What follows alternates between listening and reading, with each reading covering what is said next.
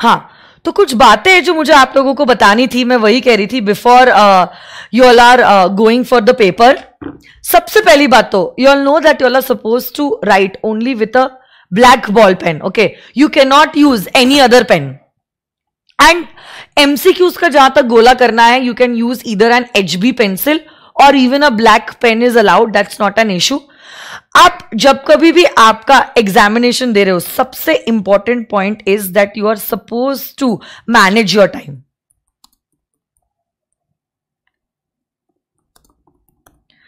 please make it sure I just open the word file क्योंकि new and word so you suppose to manage your time. This is the first and foremost, the most important thing. Okay, it's expected from you all that you are at least able to complete your paper सौ mark का paper लिखोगे, तभी आप expect कर सकते हो कि आपको एग्जामेशन मिले। तो जैसे ही आप सबसे पहले सवाल का जवाब दे रहे हो मेक इट श्योर आप घड़ी के कांटे के हिसाब से ही आपका पेपर लिख रहे हो। Because my dear friends that कुछ बच्चों का मैंने देखा है, पहले और दूसरे क्वेश्चन में काफ़ी आराम आराम से लिखते हैं and then they feel the heat of that particular time और एंड एंड के सवाल के जो जवाब होते हैं, उनकी हैंड तो छोड़ ही दो। बट कंटेंट भी काफ़ी कॉम्प्रोमाइज होता है। तो पहले ही सवाल से आपका टाइम जो है वो प्रॉपरली होना चाहिए manage so allocate your time wisely and place your self in such a position that you have ample of time for every question that you are attempting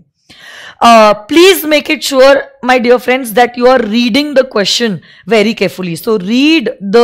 question carefully आप लोग जानते हो कि ये लॉ का paper है। तो don't be in a rush to just write down the answer अच्छे से आप क्वेश्चन को रीड कीजिए और समझने की कोशिश कीजिए कि क्या है जो एग्जामिनर आपको पूछना चाहता है। Because once you know what has been asked then writing down the answer is not a big challenge ऐसा नहीं होना चाहिए, पूछा कुछ एक है और आप लिख कुछ और रहे हो, क्योंकि आप लोग जानते हो कि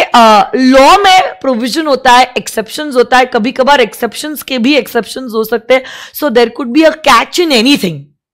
so you just make it sure that you have read and understood the question properly and then the writing can be started और फिर राइट करते वक्त आप आपकी पेस मेंटेन करोगे तो चलेगा. बट एटलीस्ट ये तो आप श्योर होने चाहिए कि मेरे को पता है हाँ कि इंस्टीट्यूट ने जो सवाल है, वो क्या पूछा है? Third point that is important is my dear friends that you are suppose to answer those question first which are the easiest for you आप लोग जानते हो it's not necessary to go in the chronological order okay ऐसा बिल्कुल ज़रूरी नहीं है कि क्वेश्चन वन का जवाब आपको पहले देना होगा। आपको जो क्वेश्चन के लिए लगता है कि आपका सबसे ज़्यादा कॉन्फिडेंस इन सवालों के जवाब में है सपोज़ क्वेश्चन नंबर फाइव में। तो ऐसे केस में you can start with question number five also okay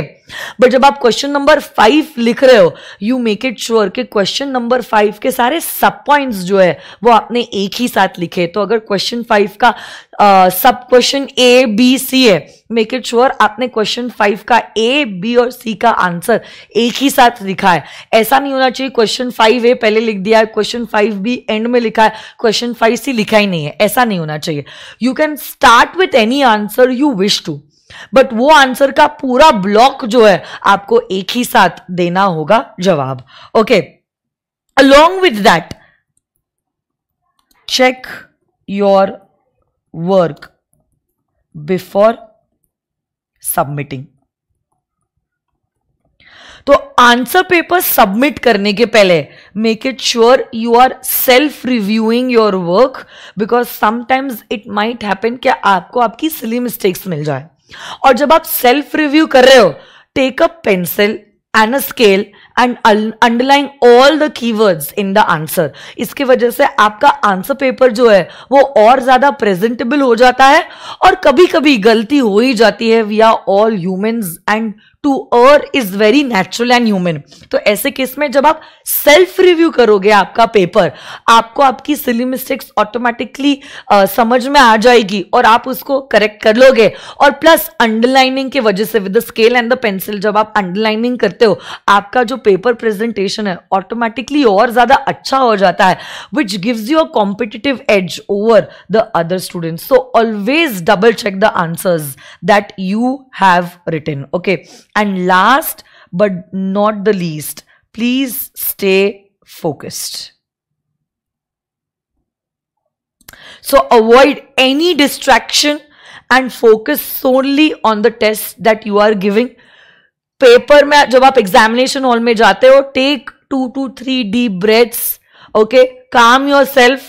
जो भी भगवान को आप प्रे करते हो उनका नाम ले लीजिए ताकि आप थोड़े से काम फील करो and then you can start writing down the paper you know you already get the answer paper beforehand तो आप आपके जो मार्जिन है वो आप ड्रॉ कर सकते हो सो so दैट uh, आपका आंसर ज़्यादा सिस्टमैटिकली प्रेजेंट हो। आप लोग तो जानते ही हो कि आप जब प्रेजेंट करते हो you are suppose to write down the answers in point wise format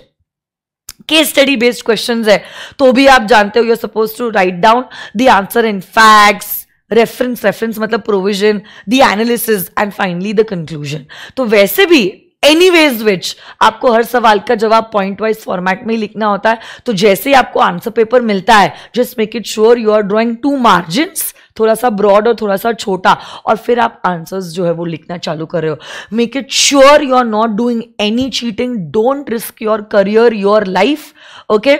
एक आधे सवाल का जवाब आपने ना लिखा है, चलेगा बट चीटिंग किसी बच्चे ने करनी नहीं है, ठीक है? Don't do cheating don't carry any chit notes and किसी की हेल्प भी मत करो। खुद भी चीटिंग मत करो और किसी की हेल्प करने की भी कोशिश मत करो because that is also regarded as cheating okay और बाकी अपने आप पे भरोसा रखो। इतने टाइम से अगर आप पढ़ाई कर ही रहे हो I am sure that you will be able to crack the examination अपने कर्म में बिलीव करो और फल की आशा ना कीजिए। बाकी तो all the best my dear friends है ना? सो से inspired stay blessed all the best thank you so much bye bye